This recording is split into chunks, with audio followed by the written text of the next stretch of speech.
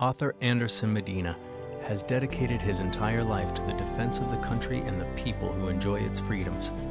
Yet with this dedication came an incalculable weight of loss, scars, and unseen pains that accompany the tragedies of war. Medina seeks to honor his brother and sister soldiers with his new collection of poetry titles, A Gift from Andy.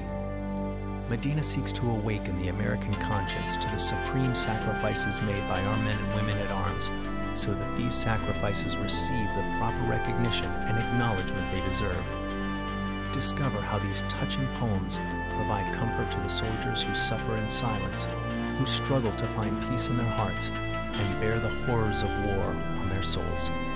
Find hope and love with A Gift from Andy today. Available now at www.xlibris.com.